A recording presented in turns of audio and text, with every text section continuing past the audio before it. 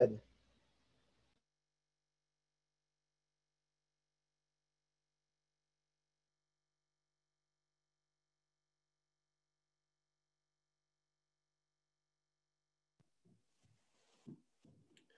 afternoon, everyone, and welcome to concurrent session number three, strategies to promote colorectal cancer screening in underrepresented communities. I am Joseph Ravenell, uh, and uh, I'm privileged to moderate this uh, uh session. We have uh, an incredible slate of uh, speakers for you, whom I will introduce in just a, a minute. Uh, but I just want to introduce this session by saying that it dovetails perfectly with the session uh, that just ended uh, related to structural racism and its impact on health outcomes generally, but specifically on colorectal cancer. And what was talked about by the incredible speakers there was the need for structural and policy level change in order for us to mitigate and eliminate the violence uh, that communities of color see with regard to uh, health inequities. And uh, so what we're gonna talk about today is what has to happen in concert with those policy changes. Policy changes will result in uh, expanded access for the communities that we are uh, talking about uh, and more uh, anti-racist policies will create the access that will then uh, allow many of these communities to be connected to uh, the life-saving screening that we care so much about in the roundtable. Uh, so today we're going to be talking about strategies to connect to those communities and to uh, and to ensure that those communities are connected uh, to the, the screening services that we're able to uh, uh, provide. So uh, without further ado, I'm going to introduce our speakers. first, Dr. Janice Krieger, who is a professor in the Department of, of Advertising and the director of the STEM Translational Communication Center at the University of Florida. Tracy Russell, um, she is a population health nurse uh, at Healthcare for the Homeless. Dr. Charles Rogers, uh, he is an assistant professor in the Department of Family and Preventive Medicine at the University of Utah School of Medicine. And Dr. Roshanda Chenier, uh, who is the project manager and outreach officer uh, and community engagement leader at the Dan L. Duncan Comprehensive Cancer Center at Baylor College of Medicine. Thank you for joining us for this session. And uh, Dr. Krieger, take it away. Great. Thank you so much for having me. It is such a delight to be part of, of such a wonderful panel, and I'm really looking forward to the discussion and looking forward to feedback. Next. Uh, just, I know we are all aware of the importance of colorectal cancer screening. I just wanted to put this up, this slide up quickly because when we look at data about racial ethnic differences in cancer um, incidence and mortality, what was really striking to us as we started this project was um, the higher level of incidence and mortality, especially by Black males. when we uh, started this project, the goal was to address uh, some uh, at the University of Florida, we're in North Florida, um, in a very rural catchment area. And there are a lot of structural barriers for our, our rural patients and some of our uh, nearby urban patients when it comes to um, structural barriers in terms of getting into the clinic to even get a recommendation for colorectal cancer screening. And so what we developed was a telemedicine approach uh, to patient education about colorectal cancer screening and accompanied that with a mail fit intervention so that Uh, we could reduce, uh, facilitate getting a recommendation for screening, and then actually allow patients to complete that screening at home without ever having to have a copay for a visit. Uh, little did we know we were preparing for COVID um, by creating a completely contactless uh, intervention for promoting screening.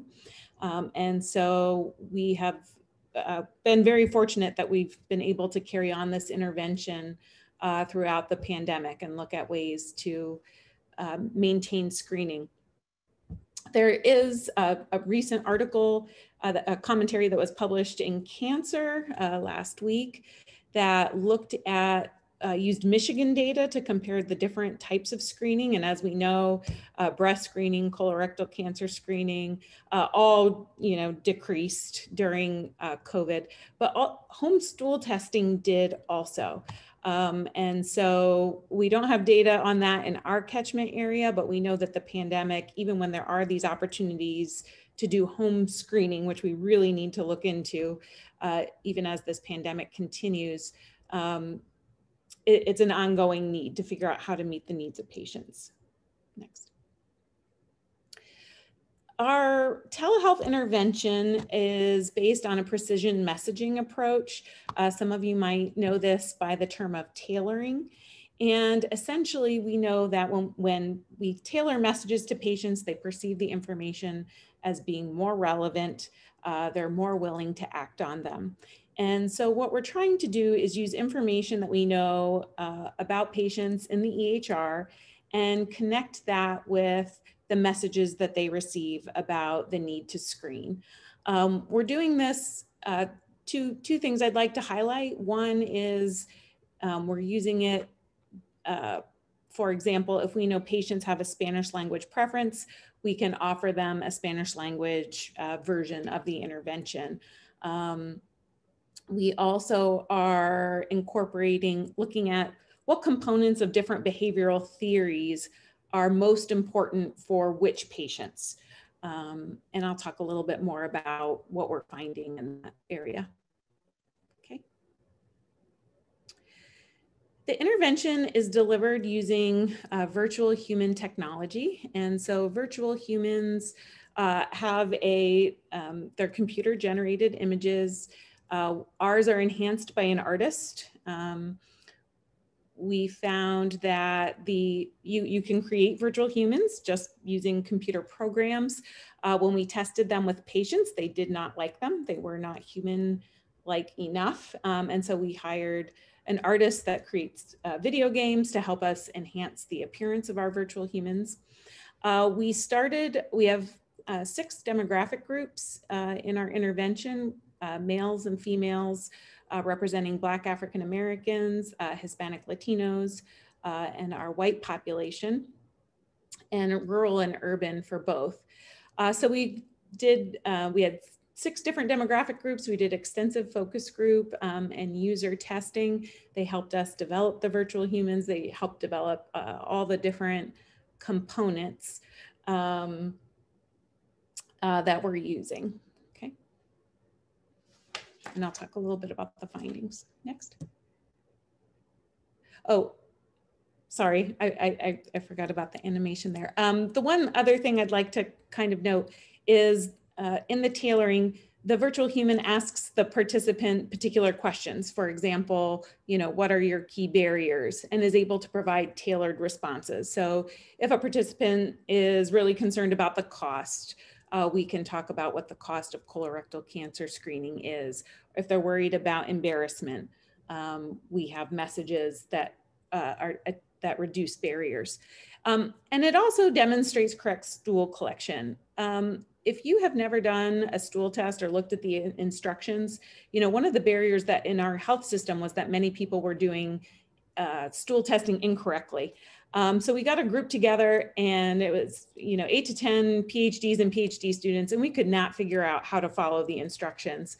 Um, so we went through an extensive period with our oncologists and our family medicine uh, practitioners to create a visual illustration using the virtual human of how you correctly complete a home stool test. So just to summarize, uh, the intervention is designed to be patient-centered and focus on home stool testing. We're emphasizing tailored messaging so that we can address um, the information that's most important to our different uh, to our participants and our patients. Uh, and it's delivered by a virtual health assistant. Um, one of the features, you know, in addition to language is the demographic matching that we're able to do. Um, and partly that was based on focus group feedback as we were developing the virtual humans, uh, particularly our minority communities. Uh, you know, we know that there aren't an, um, as many minority healthcare providers as we'd really like to see uh, in the workforce. And while we work on increasing that number, which is really important, um, they were really interested and excited about having a virtual health assistant that represented their uh, ethnic and minority identity. Next. We focused on agile software development process, which is collaborative, iterative, uh, so that we can fail fast. And what that means is we would uh, work with, we had a community advisory board. You see a picture, a picture there. And those are patients, those are advocates, those are people in the community uh, that um, represent our patient population. Some of them represent colorectal cancer screening, some represent uh, cancer screening more generally. To, to really give honest feedback about what we're doing and when we're taking a wrong turn to, to, to help turn us around. Um, and in fact, we've had a, a, a, member of our community advisory board who, who didn't want to get screened. And that's why we invited them to be part of our board um, is to really share with us why she wouldn't screen. Um, and she ended up screening as part of her uh, involvement with our CAB and was diagnosed with late stage cancer, but was able to get uh, colorectal cancer, was able to get treated, and she's now a survivor. And um, we find this to be a, a, great testament to the importance of uh, community-based uh, approaches to developing interventions. Next. Uh, the intervention is currently being implemented uh, in eight clinics, two urban clinics uh, and six rural clinics in north central Florida. Uh, we're finding that particularly our minority patients do better when they are paired with a racially concordant virtual human. Interestingly, I mentioned that we were testing the different uh, different behavioral theories and, and how they were associated with outcomes. Uh, one really important thing is self-efficacy, which was uh, we as the demonstration of how to do a fit. Of we have 10 different predictors in the intervention uh, showing a patient the video of how to do a fit uh, is by far the strongest predictor of whether they're interested in, in requesting a fit. So the importance of making it demonstrating how easy it is, exactly how to do it, I, I don't think we can emphasize enough. Um, we're implementing multiple recruitment methods to improve our workflow integration. Uh, this intervention was designed to be delivered uh, via MyChart, sort of with that within that telehealth model. And for some of our patient populations, that is a barrier. So we've been working really hard with our computer science team to develop uh, methods that take it out of MyChart um, that, so that they can access the intervention without that. And we're really excited because we hope the next phase will be more of an implementation phase in additional clinics that we can find uh, collaborators to move this beyond the UF health system. Uh, and this type of workflow will really facilitate that work. Uh, and then uh, finally, we've been working on uh, developing a the Spanish speaking virtual human.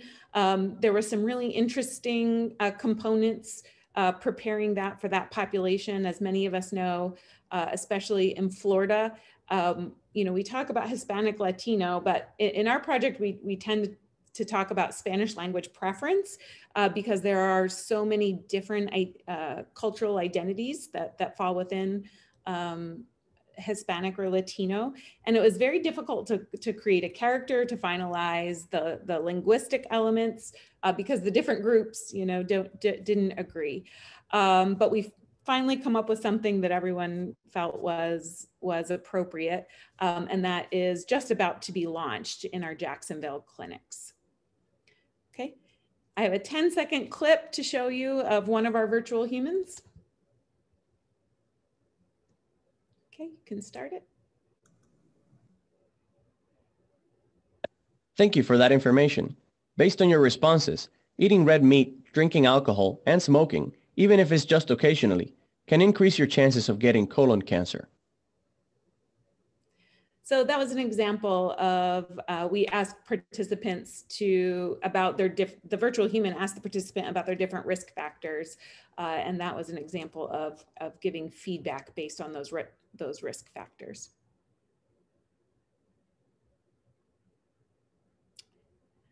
Okay, uh, so that's a brief overview of our project, and I just want to thank you again for, for inviting me, and I want to give a shout out to uh, Dr. Eric Cooks, who's on the presentation.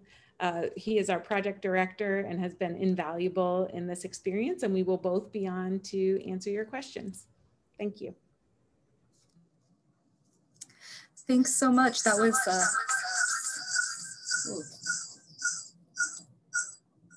Sorry about that. Can you all hear me okay? Okay, great. I think we're in business. Um, hi and good afternoon. Um, that was just really interesting and I love the creative approach uh, through which um, different clinics are uh, accessing uh, care for clients and providing care for clients. Um, so that was just really, really fascinating. Um, thank you to the NCCRT for the opportunity to be here today um, and present. Um, I can't promise that my segment will be as entertaining as uh, Dr. Wender breaking out into song yesterday, but I will do my best. Um, so here, uh, my name is Tracy again, and I'm here uh, to share some of our work in addressing colorectal cancer screenings here at Healthcare for the Homeless Baltimore. Um, so we strive to care for dignity for um, about 9,300 uh, people per year. Um, we have three main sites with our uh, main clinic pictured here. Um, and we have two other sites, a mobile van and a respite care center. Um, our services are multidisciplinary and include medical, behavioral health, psych, dental, case management, community health work, and housing services. We are an NCQA PCMH recognized federally qualified health center. Um, in addition to providing quality health care, we also strive to provide affordable housing and livable incomes for all. And recognizing that our patient experiences significant health disparities, we set out to make one of our 2020 strategic goals as follows. As a result of our care, the health outcomes of our clients will rival the health outcomes of the stably housed population. Next slide, please. Speaking of health disparities, cancer is no exception, uh, with cancer-related deaths actually affecting double the rate of individuals experiencing homelessness than the average adult population. This speaks not only to the de degree of disparity that often exists in the homeless population, but also the need to prioritize cancer screenings in order to reduce cancer-related deaths in this population. As you can imagine, there are a number of barriers that keep our clients from being screened for cancer, with the evidence identifying some of the main culprits as the lack of insurance, competing priorities, a lack of knowledge about the importance or process, and anticipated discomfort or misperceptions, amongst other barriers. We all know that cancer screening can cancer screenings can detect, prevent, and treat cancer when caught early. So preventive cancer screenings are a vital part of whole person care. And yet a few years ago, we identified that as an agency, we weren't doing so well um, with cancer screenings, not only compared with the stably housed population, but also compared with more similar cohorts at other FQHCs. And so we began our work in really promoting cancer screenings a few years back. Next slide. Um, this is just some of our demographic data from this year um, where I've highlighted some of our uh, largest subsets of clients. You can see to the left that uh, over half of our clients are Black or African American, about a quarter identify as Hispanic or Latino, and only 15% identify as white. Um, looking to the far right, um, it comes as no surprise based on the race data that the preferred language for about a quarter of our clients is Spanish. So as you can see, we serve a very diverse population of clients. And while we haven't tailored our work um, specifically to uh, a specific race or ethnicity. We've always strived as an agency to reduce health disparities for our clients as a whole, with the larger makeup of our clients being Black or Hispanic. Next slide. So here you'll see an overview of some of our primary initiatives over recent years. We tried to take a multifaceted approach uh, to make our outcomes more effective and sustainable. So we started out with setting the culture of the agency, looking for buy-in first from our leadership so that our efforts would be supported. And we also made CRC screenings one of our PI goals in 2016 to really promote visibility and accountability to this work. We also worked on developing the tools and trainings needed by our frontline workers on the medical team. We created a form in our EMR called the Preventive Health Tracker, which I'll display in a few slides. And we worked to standardize our workflows to ensure that cancer screenings were addressed at every medical visit. As part of this work, we created standing orders so CMAs and RNs could order cancer screenings independently, and we created mandatory competencies to ensure staff were well equipped to follow the workflows. We also found that when staff prioritized preventive health measures and front-ended this work in their visits, our metrics improved. We tried to make cancer screenings as accessible to our clients as possible, uh, we incorporated cancer screening education into standing groups on a rotating basis. We put on incentivized events like an annual Women's Health Day to educate women on preventive health care and enabled them the opportunity to sign up for same day PAPS, rapid Hep C, HIV testing, obtain their FIT. Um, we always give clients the choice to choose between the FIT and the colonoscopy and leave it up to them to decide what's best for them. Um, and we created a registry of clients who are past due for their CRC screenings, which our CMAs use to call clients to catch them up on their care. We couldn't engage in this work without addressing social determinants of health. And due to the many competing priorities of our clients, we made Subway gift cards available in the beginning to incentivize CRC screenings. We also gave clients uh, with transportation barriers the option to mail in their fits instead of having to bring them back to the clinic. And we used some of our grant funding to create colonoscopy prep bags filled with supplies clients could use during bowel prep, such as clear liquid options, a roll of double ply toilet paper, and reusable water bottles. Since there are so many barriers for our clients, we also recognize the need to provide patient navigation support, as well as the support of our community health workers to help with things like reminder calls and transportation to appointments. And finally, since we wanted to provide the most patient-centered care possible, we found it vital to include the voice of our clients at the table. And we relied really heavily on their feedback to guide many of our interventions. Next slide. This is a control chart of our CRC rates from the time we began our work in 2016 through the end of last year. As you can see, we started out with really low rates in the 30s and, uh, but those rates steadily climbed with the start of our interventions by almost 20% over the first year. Uh, we reached the, the low 50s in the second year and finally the mid 50s in the third year after implementing the patient navigation program and introducing competency testing. Um, and while we were still very far from hitting that 80% that so many of you have, um, have hit, by the third year of our initiative, we had surpassed screening rates of other community health clinics by 10%. Next. This is a second control chart of our rates from 2019 to 2020. And as you can see, there is a gradual decline in our rates, um, which unsurprisingly was exacerbated post-COVID. Uh, we've been hovering in the upper 40s since that time, and we recognize that we have some work to do in order to catch up a large subset of our eligible clients on their cancer screenings. Um, we did try to have a fit mailing campaign in July, which mildly bumped up our rates, but didn't produce significant results. Next. So this is the example of that preventive health tracker form that I mentioned before.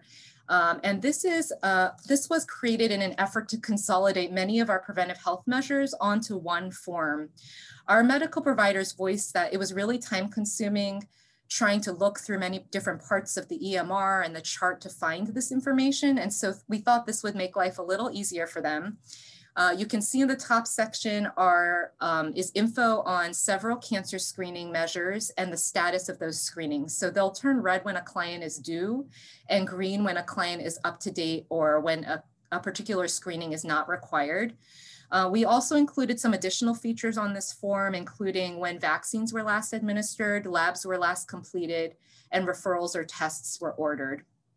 And since implementing this form, we've received so much positive feedback uh, from our medical team. Um, this gets used regularly in real time during client visits. And this has really um, been instrumental in sustaining our preventive cancer screening rates along with our other preventive um, health measures. Next. Um, at the start of our efforts, we made a big push to inform and educate our clients around CRC screenings through some homegrown flyers. Uh, we looked at public campaign materials, but felt that they didn't reflect our client population well. So here we included uh, photos of our medical providers who are very familiar to our clients and included some simple facts and um, myth busting facts about cancer and publicized our subway gift card incentives to really try to educate and promote cancer, colorectal cancer screenings. Next.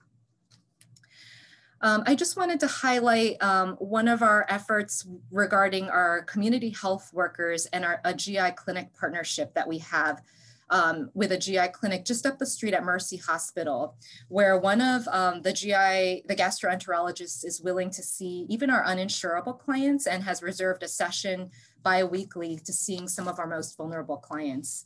So originally only 30 to 40% of our clients showed up for these appointments due to various barriers. And this left a lot of potential visits on the table. So when we identified this as a problem, our CHW team stepped in to make the most of this partnership, um, getting to the list of uh, clients in advance uh, where they would call the clients on their respective care team and provide a reminder call uh, and offer escort services. And since implementing this change idea, the show rates have improved to 50 to 75% on a regular basis. Um, in the photos here are some of our uh, CHWs on our CHW team. Next. Um, I also wanted to highlight one of our initiatives uh, that took some time to develop involving navigation support for clients in order to complete their colonoscopies. Um, our rates for colonoscopy completion were very poor. Um, and so, um, so we are, uh, when an external cancer program approached us to offer to partner with our organization to provide this support for us, we, ab we absolutely jumped on the opportunity, um, thinking that this would be a great solution. And at the time, we didn't feel that we had the right resources and roles internally to provide this level of support. So we did a pilot uh, over the course of six months, a fairly long pilot, where only one of 17 clients that we referred to this program actually completed their colonoscopy which was very problematic. And so we dissolved the pilot and thought for the first time about the possibility of engaging our internal staff in providing navigation support. So we designated our nurses as the primary navigators since they already meet one-on-one -on -one with clients and have experience with client care coordination. What we do is our nurses meet with clients before the GI consult as well as before the procedure. And at each juncture, they identify any barriers and then connect clients with the resources needed to overcome those barriers. And this has been very successful um, in our colonoscopy completion rates. Next. These are some of our lessons learned um, I won't go through all of them. I'll just highlight that um, we wanted to make the work as easy as possible for our staff to do to make this work sustainable. Uh, we thought it was really important to see through the lens of our clients um, whose feedback we relied very, very heavily on. Uh, we had to work to create this culture of, of preventive, prioritizing preventive health care since this isn't always at the top um, and radar of our medical team. Um, and we found that providing mandatory competencies on a regular basis were, was really important because one-time trainings weren't sufficient. Um, next. And in closing, um, just in, in terms of our future work, we realize we had with COVID, we have some our work cut out for us. We plan to have some additional fit mailing campaigns, particularly as many of our clients have moved to telehealth visits.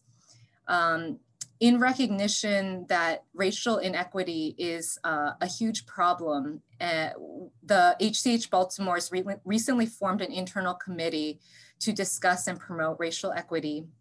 And our plan for 2021 is actually to look at our metrics, um, look at our subpopulations by metrics, um, by race and ethnicity in an effort to identify any disparities that might exist uh, so that we can address them. And we actually plan to start this work with our uncontrolled diabetes clients, where we see a huge disparity, particularly amongst our Hispanic Latin, Latinx population, with having a much higher rate of uncontrolled diabetes.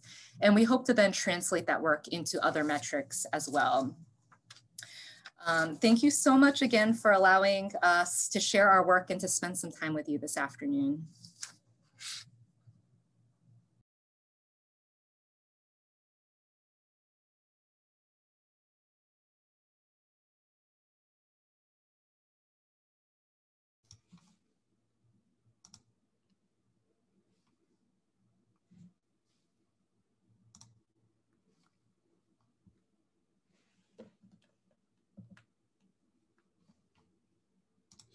Excuse me here.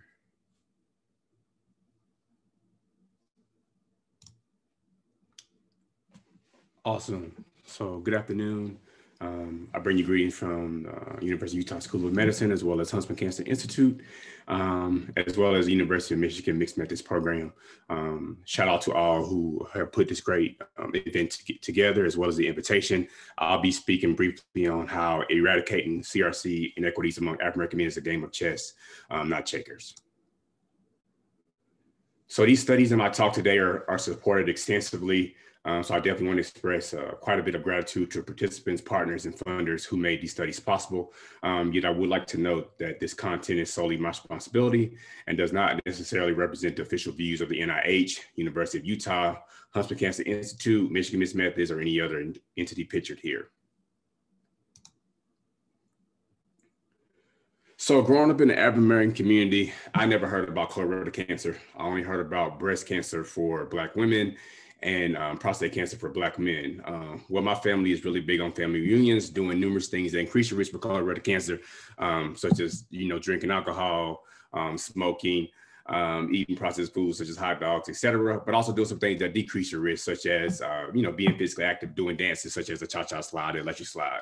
Well, we had noticed that my aunt here had lost quite a bit of weight, so we just figured that potentially she was, um, you know, eating better.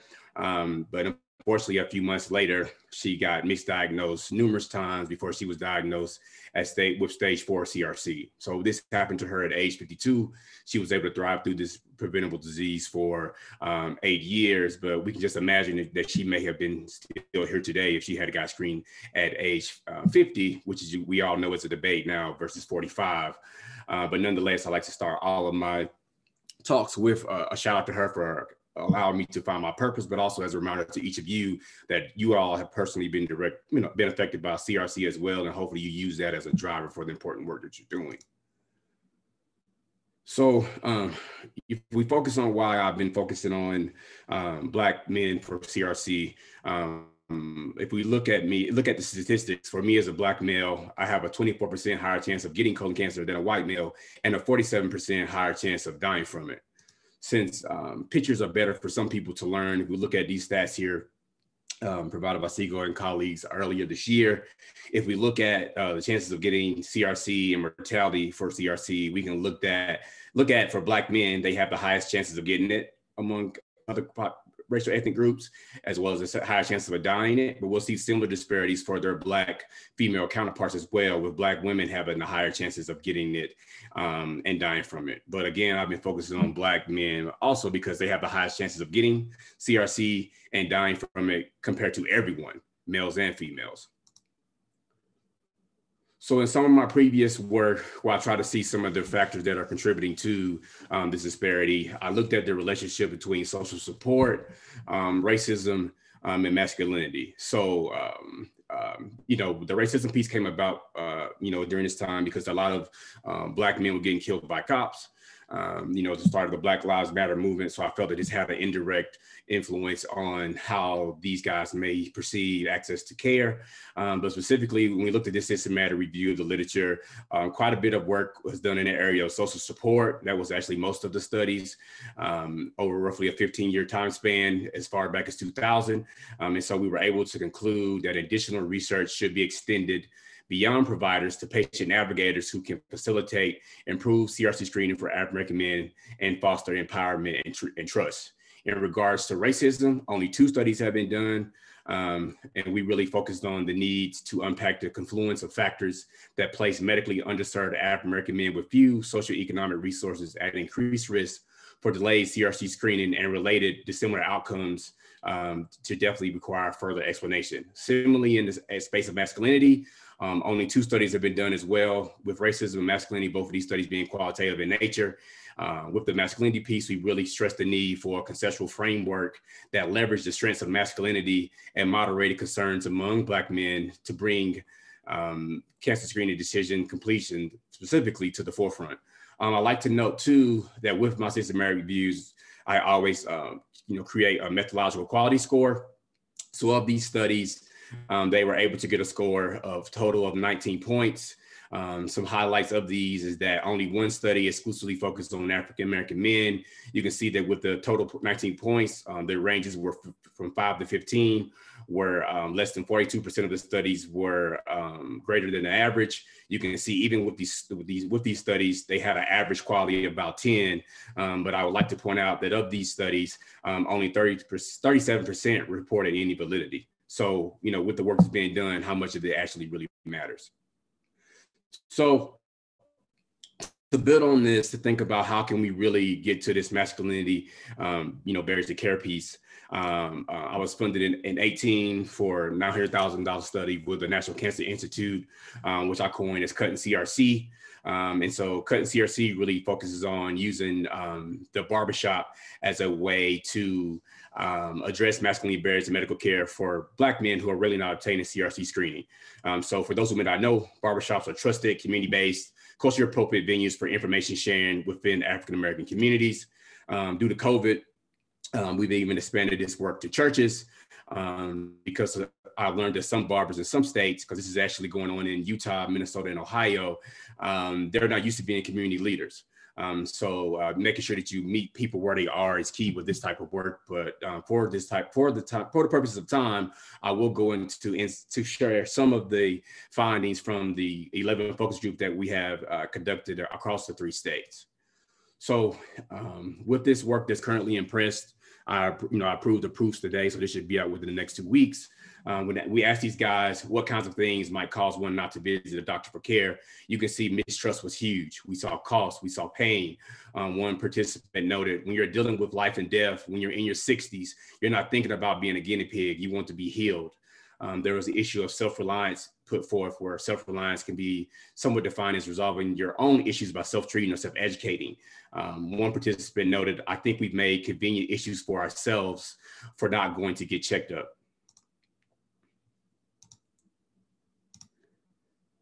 Similarly, uh, we asked what kinds of things might make an African American male more likely to obtain a colonoscopy. Um, we can see here we have family history, the recommendation from providers, knowledge, insurance. Uh, we have one participant who noted um, you have a you have to have a good doctor that just doesn't care about you, but that cares about people in general. What kinds of things are making less likely obtain. We see this mistrust piece again, which was actually rampant in all responses. Um, we see fear, we see cost, we see racism. Um, with the mistrust piece, one participant noted, I don't trust the more white boys. I think about Tuskegee and all the other things. A lot of times, I really don't think that they, being white doctors, care whether I live or not. There was also the fear of weakness presented. Uh, we've been raised to be a strong masculine man and not care, let alone understand what is going on with our bodies as I'm running out of time, unfortunately, I can't go into much detail, but this is also some hotspot work that we did um, earlier this summer, um, where our team identified hotspot areas across the US, those being counties where CRCs on the rise and killing young men at high rates, while considering individual and county level CRC outcome determinants. Um, as you can see, we found that many of these new diagnoses are occurring in counties with the lower, in the lower Mississippi Delta, West Central Appalachia area, as well as Eastern Virginia, North Carolina. Um, of note, Chadwick Boseman hometown of Anderson County, South Carolina is a hotspot that we found. Um, also of note, we observed that roughly 14% of all adults are current, even though 14% of all US adults are current smokers, 24% of the adult population residing in hotspot counties reported currently smoking and having smoked at least 100 cigarettes in their lifetime. So as I conclude, um, I think it's very important for us to remember that CRC is preventable, treatable, and beatable disease that no one has to die from as a, you know, as a task force screen at age 45 recommendations is finally being strongly considered, it's up to each of us to continue advocating how lowering the screening age for all African-American men included will literally save thousands of lives and dollars. Um, Brother Chadwick Boseman being diagnosed with stage three CRC at age 39 is unacceptable. Um, I have been fighting for Chadwick's legacy and the lives of many other members of the medically underserved and minority populations for 10 years. May each of you not grow weary in your fight, which is a game of chess, not checkers. Thanks for your time.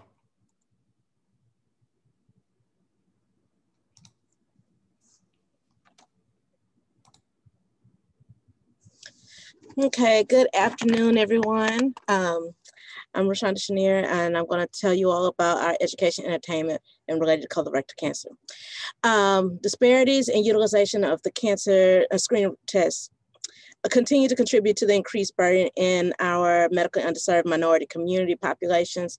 And as you can see, this is something, um, this is a map of Harris County and the surrounding counties, uh, which are eight surrounding counties of our MSA.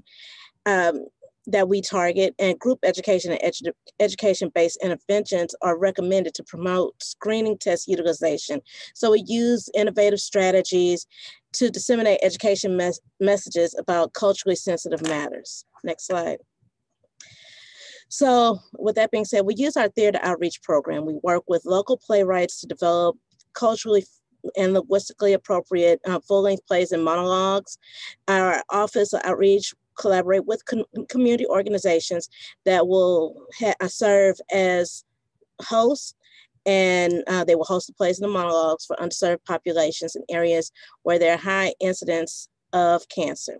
We sponsor one play and uh, two colorectal cancer monologues, both in English and Spanish, to raise awareness about colorectal cancer education and prevention. Next slide.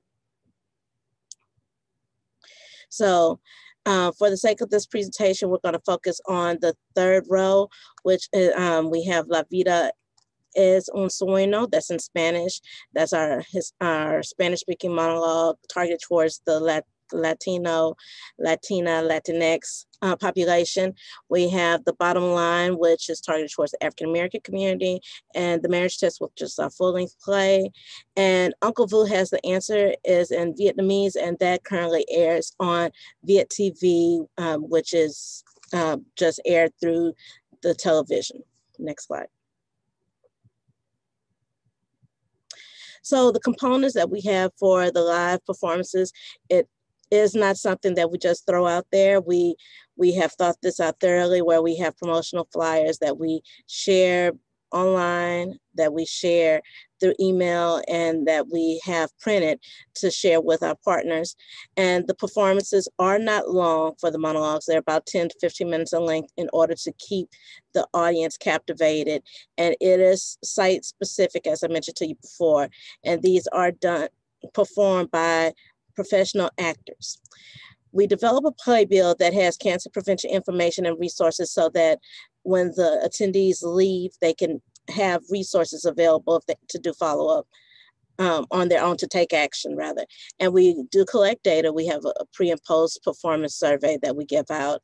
And at the end of the performance, we do have a Q&A session where the health educator is provi provided there to take questions from the audience, along with um, letting them know, giving them that comfort space of knowing that it's okay for them to ask any question, no question too big or too small. And we also have educational materials and, along with the Access Navigator uh, from our community, our main community partners to uh, access health services throughout the community. Next slide. So these are just some examples of our educational materials, um, our marketing materials that we have. At the very top are promotional flyers. They are disseminated again by print, through email, through um, online resources, and uh, oftentimes they are adaptable to put different logos on there to show partnerships. And these are our promotional, well, our playbills that have the resources on the back along with a synopsis on the inside of the different uh, different monologues and plays that we have. Next slide.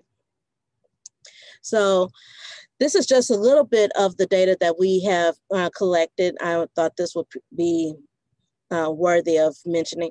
You have uh, for the colorectal cancer monologue and play, uh, you see that there was an increase of individuals likely to go and seek uh, colorectal cancer screening tests after seeing the uh, play or the monologue. And it's the same thing for the Hispanic community. Uh, we found that this has been a very, um, very useful resource for uh, people who may have had barriers and uh, or were hesitant about getting screened, that they will after being after hearing these motivational methods and uh, getting uh, dispelling myths and things like that. Next slide. So as with everyone, we've had to take a shift in doing our education outreach. Uh, the pandemic came and impacted everyone. So we screenings as a result of that, screenings have been delayed groups aren't able to get together like we've done in the past. And we had to come up with an innovative strategy to, um, in the meanwhile, to adapt to the new normal. Next slide. So for our online resources, we do have, um, these are a list of the monologues that we have available. Uh, they are uh, on our YouTube channel. And what we've been doing is we've been very realistic about how many attendees we can get.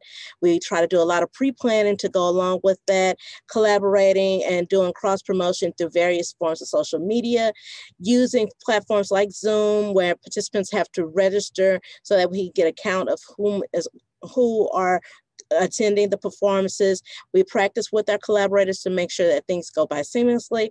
And we give a max of an hour for the whole webinar, along with links for the survey, Q&A, and um, enclosure, and so that it can be a true interactive experience. Next slide. And so, um, with this being said, I couldn't do this without the, the, leadership that I have, along with the staff that works along with us. We're a small group, but we do a whole lot. And um, just want to uh, mention them as well. And the next slide. And if there's any questions, please feel free to reach out to us. Our um, the websites are up there, our our social media handles, and my email as well. Thank you.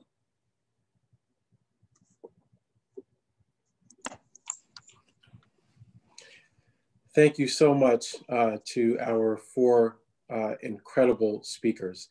Um, I just want to make a program note that uh, the um, adjourning session uh, for the meeting will start at 4.35. Uh, so we only, we have a very brief time for uh, questions.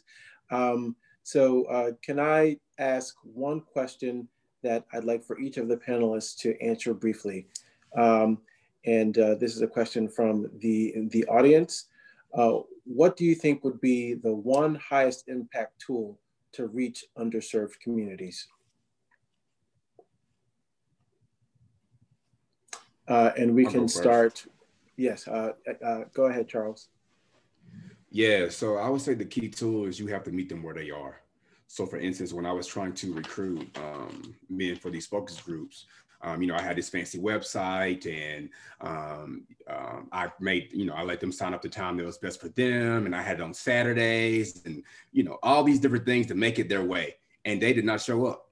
So what I had to do was get feedback from the community in terms of their of, of how I should, you know, really get them to be engaged. And they said, go to where they are. So me and my team literally went to traditional churches, um, and we sat through the service. The you know the pastors would would would uh, introduce us, and then we met with the participants right after church.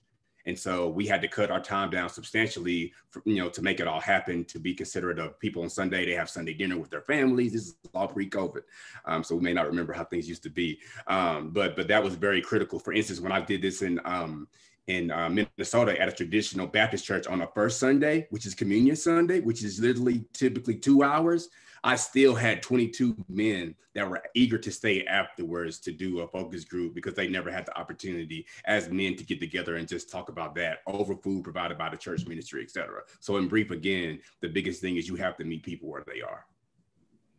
Thank you, Charles. Uh, Janice and uh, Eric, did you want to uh, answer that? Yeah, I think that's a great point. And um, to just follow up in, in the current environment where that is right now is home.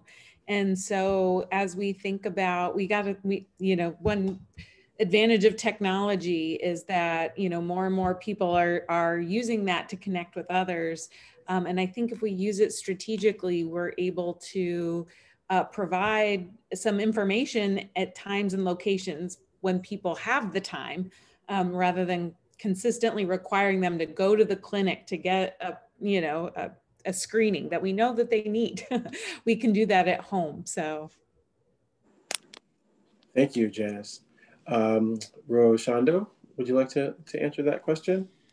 I would agree um, with uh, Dr. Rogers and what he was saying about meeting people where they are. Um, one of the key things that I've noticed just on, from the clinical perspective and from the community perspective, having key stakeholders is very important because there is still very much this distrust uh, among uh, minority populations, minority communities, and and getting there, and not to mention we have to think outside the box. We um, going into a brick and mortar place and just like I, um, we work in well i work in the largest medical center in the in the world. And people don't want to go there because it's confusing.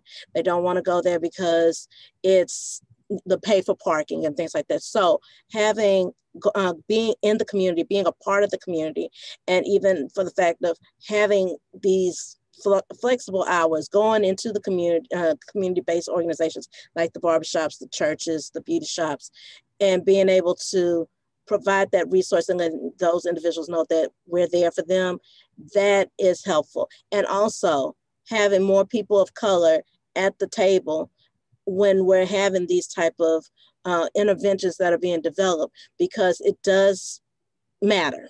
It matters, um, you know, because you can have something that's available that may we all have our research backgrounds and things of that nature but if it's something that does not include the culture it's not going to work.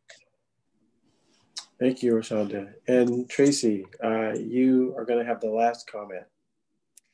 Um, yeah, I would agree with all of our speakers um, saying meeting clients where they are, but also um, having uh, this be a priority for clinicians and for staff. Um, I think it's easy with COVID for other things to take priority. And um, as some of the speakers yesterday mentioned, we have a lot of, we've fallen behind on this cancer screening work, and that's going to impact care for the decade to come. And so, um, really making this something that we don't drop um, as part of our care, that this is really um, pivotal and still a priority in spite of COVID, um, and ensuring that we make this um, these cancer screenings as accessible uh, for our telehealth clients um, and having it as front and center as possible, giving providers the tools uh, needed to um, not forget about this work um, and to be able to address it at their visits. Um, so keeping keeping cancer screenings at the front and center. Thank you, uh, Jan. Uh, thank you, uh, Tracy. Um, and uh, so thank you to all, all of our uh, incredible panelists, uh, Dr. Dr. Krieger, Dr. Cooks, Dr. Rogers, Tracy, and Dr. Chenier. Thank you so much for your insights. Thank you to the audience for being a, a part of this and, and a wonderful way to close out. Um, and to piggyback on the last session. If we can all head over to the um, adjourning session, uh, that would be great. Thank you again.